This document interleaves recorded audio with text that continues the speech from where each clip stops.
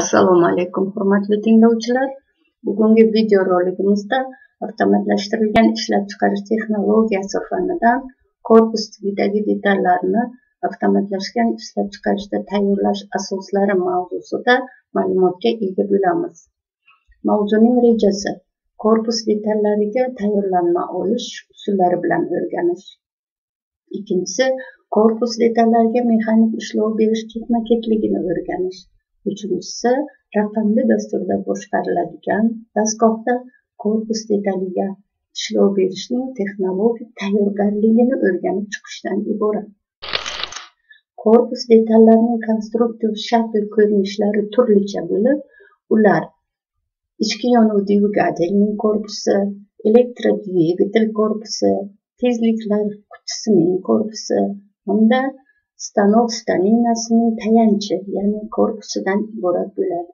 Korpus detallarining asosiy vazifasi unga o'rnatiladigan mayda detal birikmalarini o'ziga joylashtirib ularning harakatlanishi uchun imkon yaratib berishdan iborat. Tokerlik bin qirqish dastgohning stanina detalining vazifasi unda o'rnatiladigan oldingi papka ketingi papka elektrodvigatel supostamina kabi mexanizmlarni o'ziga o'rnatib ularning harakatlanishi uchun tayanch vazifasini bajaradi. Shuning uchun juda mustahkam puxta yuqori aniqlikda tayyorlanishi kerak. Shuning uchun har bir birikish yuzalari aniq o'lchovda va yuza tozalikda bajarilishi shart ko'pincha staninalar frezalash dastgohlarida turli sirtlarni freza bilan tozalash hamda charx toshlari yordamida yaltiratish yuqori aniqlikni olish bilan ta'minlanadi mehnat unumdorligini va sifatini oshirish tamoyiliga ko'ra agar mehnat predmeti ustida bajaradigan jarayon ko'p marta takrorlansa avtomat qurilmadan foydalanish tavsiya etiladi. Ishlab chiqarish obyekti tez tez almashtirib turadigan va jihoz ishini qaytadan sozlash uchun zarur bo'lgan hollarda avtomatik boshqarish sistemasi kiritiladi. Bugungi mavzumizda korpus detallariga mexanik ishlov berish jarayonini avtomatlashtirilgan dastgohda qo'llash uchun eng birinchi navbatda uning materialini tanlab va tayyorlanmasini olish usulini o'rganib chiqamiz. Korpus detallari uchun materiallar tanlashda ularga ta'sir etiladigan kuchlarni hisobga olgan holda amalga oshiriladi. Odatda korpus detallari kulrang cho'yandan tayyorlanadi. Ayrim hollardagina alyuminiy qotishmalaridan ham tayyorlash mumkin. Ba'zan plastmassalardan ham korpus detali tayyorlanadi ya'ni ta'sir etiladigan kuchlarni hisobga olgan holda. Yuqori kuchlanishlar ostida ishlaydigan korpus detallari bo'lsa po'lat otishmalardan tayyorlanadi.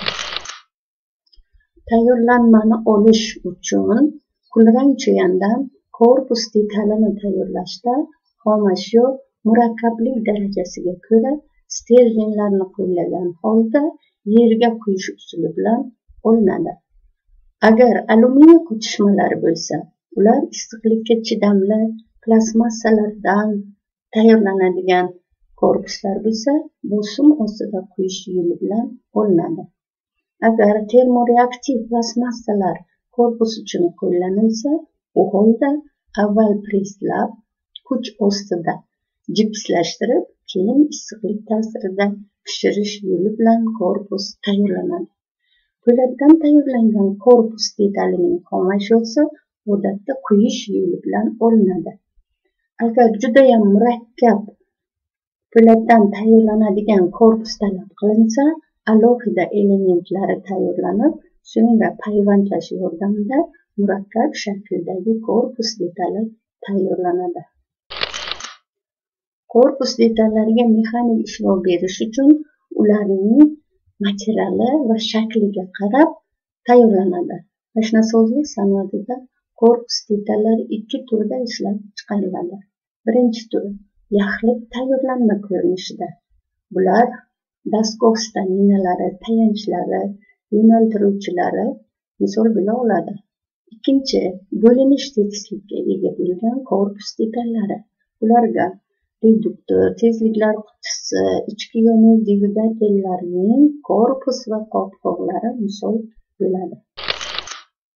Yaxlit ko'rinishdagi korpus detalining chizmasiga qarab undagi barcha sirtlariga qarab ishlov berish texnologik marshruti tuzib chiqiladi.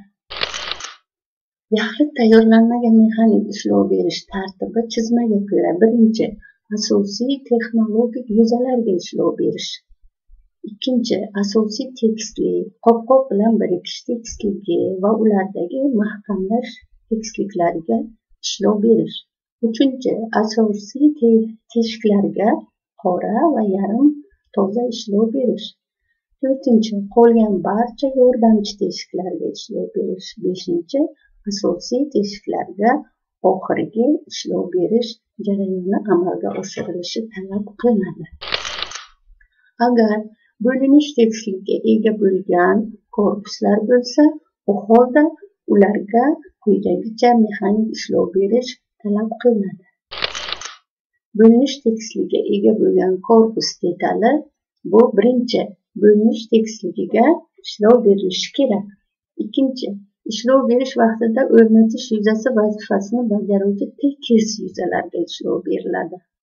Uchinchi teshiklarni parmalash rezba ochish bo'linish tekisligidagi shtift osti teshiklarni ochish talab qilinadi. To'rtinchi korpus detalining shtiftlar yordamida qismlarni yig'ish ishlari uchun joylar tayyorlanadi.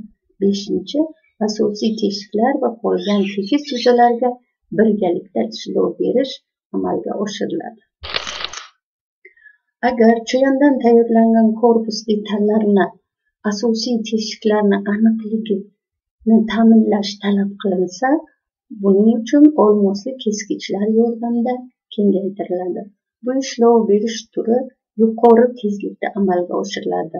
Bu tezliklar bir aylangandagi millimetri nol butun yuzdan uch va nol butun o'ndan bir millimetrni tashkil qiladi agar po'latdan tayyorlangan korpus detallarining asosiy teshiklari yuqori aniqlik talab qilinsa u vaqtda yunib kengaytirishdan ko'ra ichki yuzalarni jilvirlash usullari unumli hisoblanadi shunga ko'ra kesuvchi asboblar tanlanib mexanik ishlov berish rejimlari hisoblab chiqilgandan so'ng avtomatlashtirilgan texnologiyalardan foydalaniladi. Avtomatlashgan texnologiya bu nima bu? Ya'ni sonda dastur bilan boshqariladigan dastgohlarning konstruksiyasini takomillashtirishning asosiy yo'nalishiga asbobni avtomatik ravishda almashtiradigan dastgohlarni yaratish kiradi. Murakkab korpusli detallarga ishlov berishda turli xildagi asboblar majmuasidan foydalanishga asboblarni almashtirish uchun tez harakatlanuvchi moslamalar xuddi shu imkonni yaratadi. Bu asboblarni qayta o'rnatish va o'lchamga sozlash uchun yordamchi vaqtni qisqartiradi hamda ishchining bir necha dastgohlarga xizmat qilish imkonini beradi. Ko'p ishlarni bajara oladigan raqamli dasturda boshqariladigan avtomatlashtirilgan dastgohlar ya'ni detallarni qayta o'rnatmasdan va keshish asbobini avtomatlashtirish yo'li bilan ko'p texnologik operatsiyalarni bajarishga imkon beradigan dastgohlarimizga ko'p operatsiyali dastgohlar deb ataymiz. Bunday dastgohda bir vaqtda parmalash zenkerlash razvertkalash teshib yumib kengaytirish rezba qirqish tekis va murakkab sirtlarni frezalash kabi ishlar detalning bir o'rnatilishida amalga oshiriladi. Bunday dastgohga ip besh yuz mf 4 modelli ko'p vazifali dastgohni misol qilsa bo'ladi. Bu dastgohning ko'rinishi. Korpus detallarini raqamli dasturda boshqariladigan dastgohlarni tayyorlash uchun avvaldan kerakli o'lchamlarda sozlangan kesuvchi asboblar magazini bir va bir necha yo'nalishda harakatlanuvchi shpindelni mavjudligi tufayli hamda aylanuvchi stolning imkoniyatlaridan foydalanib korpus detallarining bir vaqtning o'zida to'rt tomoniga ishlov berish imkonini yaratishdan iborat bo'lib bu dastgohda frezalash parmalash yunib kengaytirish va pardozlash ishlari avtomatik ravishda bajarib boriladi. Korpus tipidagi detalga bir o'rnatishda oltita sirtga ishlov berish mumkin. Mana bu staninaga e, frezalar yordamida turli tomonidan ishlov berish jarayoni ko'rsatilgan. Demak xulosa qilib shuni aytish mumkinki avtomatlashtirilgan ishlab chiqarish texnologiyasida tayyorlanadigan murakkab shaklli korpus detaliga o'xshash detallarimizning sifati yuqori bo'lib unumdorligi oshib tannarxi arzonlashadi. Bu bilan biz juda yuqori samaraga erishamiz. E'tiboringiz uchun rahmat. Keyingi videoroliklarda ko'rishguncha sog' bo'ling.